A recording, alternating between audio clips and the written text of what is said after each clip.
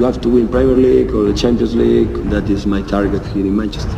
There's only one team in this town. Open fire.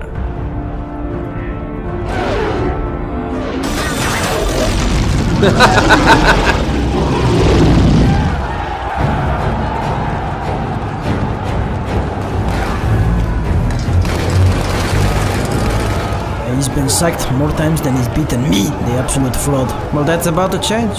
And I'm Phil Jones. So, you came back to England to die with this team? No? I came back to stop you?